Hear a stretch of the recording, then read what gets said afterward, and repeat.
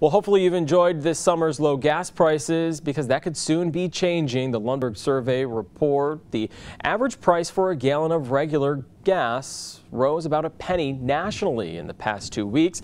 Slightly stronger oil prices are to blame. The survey predicts gas prices will increase a few more pennies soon because retailers have not fully passed on prior wholesale price hikes.